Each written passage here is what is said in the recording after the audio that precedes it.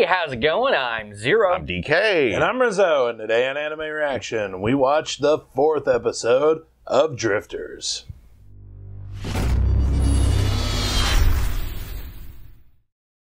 If you want to check out our reaction to the fourth episode of Drifters, hit that link in the description below. and be sure to give us feedback in the comment section because we love hearing from you. And as always, if you like what you see, subscribe to Otaku Saga. And don't forget to like and share our videos. And, thanks, for watching.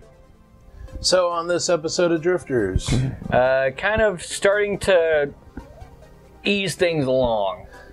yeah, it, it, it started to, um, it started to, started to move the the story along. I guess uh, started to to show the Drifters kind of getting ready to fight back. Yeah.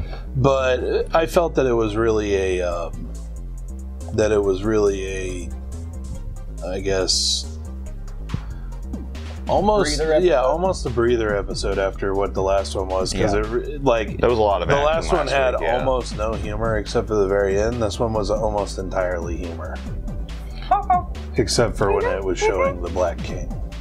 But yeah, it was pretty much kind of like cool down from uh, all the fighting that went on, not only with that uh, northern keep, Helm's Deep, and all, with the Black And King. And really, uh, really setting the stage Mm. for what's going to happen next.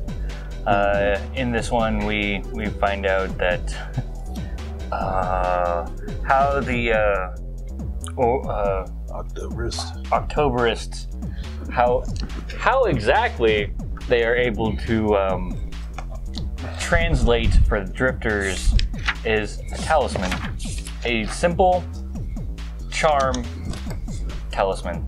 Well, also, uh, and I think this might be important later on, Nobunaga uh, remarks that it's similar to what, um, uh, I think what do they call them? Uh, The what, like, Onmyoji, that's it, thank you. Uh, that's what Onmyoji used back in Kyoto. So, uh, Well, yeah. I don't, I don't, I don't think that it's revealed who the leader of the Octobrist is, but we do have a character list, so I know who it is. yeah. So it makes sense why why uh, why uh, Nobunaga would know that, or would would see that it's similar to the Onmyoji. Mm. Let's just put it there and, and leave it there. Yeah. Um.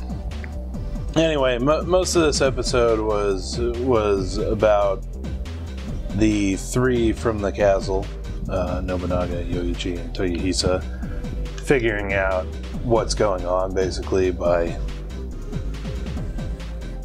um, questioning Questioning. Four eyes boobs. Four Eyes Boo. Worst spy ever. Best pet name ever. Yeah, let's Four see. Eyes Boobs. You get. Yeah, I'm totally gonna put that down on Yep. your profile too.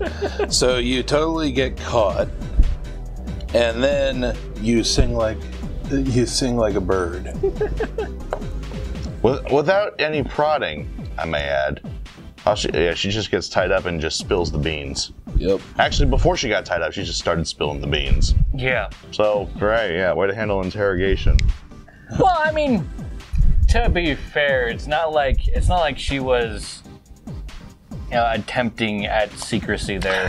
Fair She enough, was she's just observing. Yeah, she was being an observer just to just to figure out if they were drifters or ends or what their overall goals are and stuff like that. Fair enough. It's not like she was uh, Yeah. hiding for the sake of you know, being secretive. True, true, and she's also, you know, by uh, by trade a mage, not a like a spy or assassin or Yeah. anything. All right, well, we'll, we'll give her that break. So She certainly receives none from Nobunaga.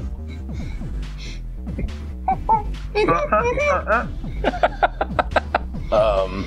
Anyway, so the elves. It shows the elves talking in their city hall, I guess, about uh, you know, about what they could possibly do to survive the situation that they found themselves in. because because Because- of Nobunaga, half the half of the uh, The wheat- crops yeah, are half the- ruined. Half the wheat field got burned. So even if the Lord forgives them for killing his troops, which is very unlikely, they are going to starve. the- yeah, they can't pay the. They wouldn't even have enough to pay the tax. Let Yeah, he'll take the rest of their crop. yeah, let alone what to eat. But um, this is almost So, exactly yeah. like the Seven Samurai. yeah, pretty much. Yeah. Like like to a T, the Seventh Samurai. So then the three from the castle show up with Four Eyes boobs in tow, Four eyes boobs. and I'm gonna call her out forever now. Yep. She is no. She is not Ome, Omin. Yeah, Omine. she's not Olmine anymore. She's four eyed boobs. She is simply Four Eyes boobs. four. Um, anyway, so they show up, and initially Yoichi tries to communicate with them in their own Oh my language, God. which was hilarious. Never, never. Tell you, tell you. oh my god. Because basically Yoichi tried to learn the language by himself, and honestly, he did a reasonable job, you know, being mm-hmm. self-taught. But You can only do so much. he can only do so much. And then Four Eyes Booze, you know, they're like, "So how do you guys communicate?" Oh. Eyes- oh, we have a talisman. Something that simple. Give me that shit. Well, you could have done that before Yoichi went and made an ass of himself. Apologize to Yoichi. Give me that shit and beg for forgiveness. Then I, I like when she posts it, or uh, when when it gets posted up right on Yoichi's face, and he acts like a Jiangshi. Uh, they hop. Yeah. oh my god. Yeah. so, in, in a strange turn of events, uh, Nobunaga insists that Toyohisa takes the lead on any commanding in this in this aspect. He raises Toyohisa to be the figurehead. That way the assassins get him first. And the reasoning he gave for it? Because Toyohisa took the middle seat when they posed. Yeah. That, that's actually kind of a big uh, deal. Um, even uh, today in Japanese culture, you usually don't take the head of a table or a center seat that's reserved as the leader's seat. You usually don't take it unless it's offered to you, and even so, you're supposed to be like a little uh, hesitant out of humility. So, Oddly yeah. enough, Nobunaga didn't object to it, Well, it, so he, he, He rolled with basically it. was like, oh, well, you know, I was going to sit there, but okay. whatever, we'll roll with it. Yeah. I'm dead back in the real world anyway. I but I do love I do love that that was uh, a tap on the fourth wall. right. It wasn't necessarily breaking, but it was certainly a They tap. I'll give it there, leaning yeah. on it. Leaning on it. Um, and then we we do get a little bit about kind of between Toyohisa and Nobunaga about you know one of them thinking, basically Nobunaga thinking, oh you know he's he's like my son, and Toyohisa thinking, oh he's, like, my father. But of course they won't say it out loud, Because they're, su- they're such tsundere. right? So soon, soon. and that, oh man. And like I said in the reaction, if the little squabble that ensued after they flung those insults at each other got any more cartoony, you'd see a dust cloud with sound effects. I know. In the form And of I like I like uh, Yoichi. Uh, I want to join in too. Hey! Flying kick. Boot to the head. And then like two frames later, you see Yoichi in a headlock from Nobunaga. It was awesome. Uh, Or no, it was Oh. Taisa. like when when uh, when they when the elves shouted at him to, to stop or Yeah. whatever, and they're like fighting against each other, and Yoichi is biting Nobunaga's head, which is a hilarious thing in cartoony fights in anime. Again, though, I- Not not the best example of it though. yeah, but, but again, though, I mean, it's just a lot, a lot of humor in this episode. Yeah. But at the same time, it still had a lot of serious points, especially when they're talking about. Um, you Nobunaga brought up very good points with uh, the oncoming oncoming army. Hmm.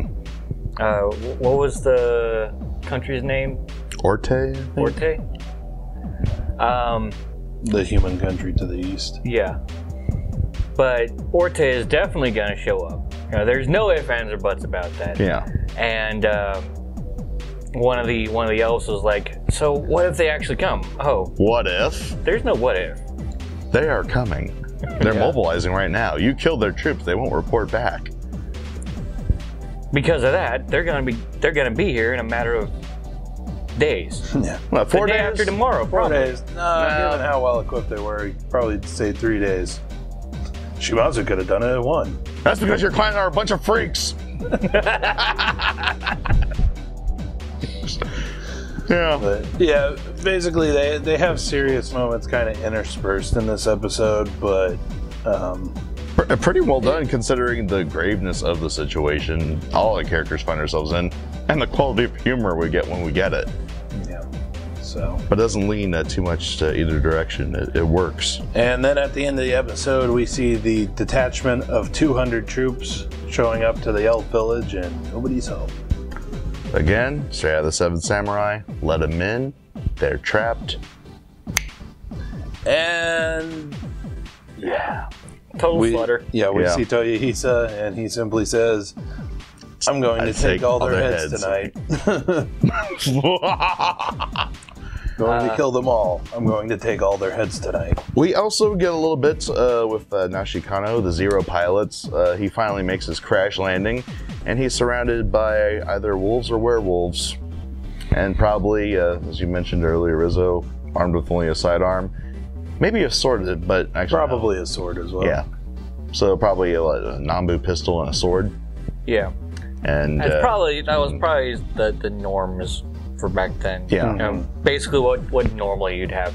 Uh, my my thing with this is, you know, usually a character is not not introduced arbitrarily and they have a purpose. right. Um, this one currently is so far off the beaten path. It's hard to conceive him getting back on it and joining up with the rest of the group, Hmm, okay. or joining up with a group. Because right now we have two, three groups. We have the Ends, we have Toyohisa and his group, and then we have uh, Butch Cassidy, Butch Cassidy, Caesar, Kid, Attila, Caesar, and, and Attila, yeah, or no, Hannibal, Hannibal. Hannibal. Other. Um, the only thing I can think is if uh, if the group with Caesar and Hannibal were following where he was flying. Hmm. Like that's the only that's the only thing that I can think to get him out of that situation. Or they might run into him because they're making a hot escape. So something like that. I'd be that, that that's an interesting storyline to go down. Um, I don't know if we'll actually have a lot of time for that in terms of you know it's only a it's only a 12, 12 episode series, right? Yeah. 12, 13 episodes. But it's a it's a long time for a, a slight deviation like that. So we'll see. So, yeah, Um, so if he does recover, it has to be within like the next couple episodes. Yeah. Yeah, pretty much. And then another little side note: we got to see the Black King's ability. The Black King is the White Mage. I have a feeling that he has a lot of abilities. Probably. I do too. Yeah, yeah. He can't com- uh, command a force like that without just you know just being a healer. But um, I mean, he uh, one one of the uh, orcs, I guess, one of the pig-looking guys. He had a gash like this wide, like that deep, going you know going all up and down his shoulder, and the, the Black King just went. Boom. Paste. It's instantly cauterized. Well, not that. It, it was it was instantly like healed. Yeah, just scar tissue. Just Yeah. healed. I mean, and Basically, it, it accelerated the healing by like probably a year. I actually kind of like that too. That it left a, a scar there, a little more uh, believable than the standard. Oh, it's perfectly normal again. So interesting touch. it, it is a really interesting touch. If I, if I created a series with magic, that's probably the way I would do healing magic. yeah. Okay. It just accelerates healing. It doesn't remove the damage. And also, orc chicks dig scars Why'd you have to put that image in my head? because. Ew. and now you guys are traumatized too. I But love Otaku there's- Saga for that. Now, sorry, go ahead. There's there's already far too much orc porn. Uh, Fair enough, fair enough. anyway, um, so we, we got a little bit of insight to what the Black King's doing. Uh, he's just taking over the world. no, he pretty much gave us his manifesto in a nice monologue. Yeah. Well, yeah. So basically, I guess from his point of view, or maybe it actually happened. Who knows? Hmm. They they did say that ends are basically insane, but from his point of view, he tried to help the humans, and they spurned him. So naturally, his only course of action was to help the demi-humans and kill all the humans. At, at least he's logical about it. I mean, to the point where he's thinking about recruiting the elves that were just you know, beaten into submission. Mm. I mean, ba- basically, he would help out any demi-humans. Mm-hmm. I think. So, you know, any uh, the elves, the dwarves, the hobbits, the orcs, the whatever's. Pretty much. All the fantastical races in this world. Next week's episode. What the fuck was up with those taglines, yo? What was it? Boo, uh, Boobiana. Bubiano Yeah, Boobianu. organization. organization. I want in on that. um, piece of uh, I didn't know it. Damn it. No, I can't even remember what it was. Play it through. Okay. Th- th- This is yeah, this is just too bizarre. Power of shit. power of shit, Monkey monkey yell. yell, and bring back love. That's the episode title. The episode title is Bring Back Love. What is What? Power of shit. What? this? Sounds like a very interesting porno that I would never watch. Okay, about this. Mm-hmm. At least you wouldn't admit to it openly. Uh-huh. anyway, so uh, if you want to go ahead and check out our previous reactions to Drifters, go ahead and click on my head. Yep, and click on my head to see the podcast where we talk about all of our anime that we're watching this season. If you want to take a break from contemplating the power of shit, click on my face to check out OS Gaming, featuring Rizzo's playthrough of Tales of Hysteria and more content coming soon. And click on the waifu if you'd like to subscribe to Otaku Saga and check out our new and improved Patreon page. But that wraps up for this time on Anime Reaction. I'm Zero. I'm DK. And I'm Rizzo. See you next time.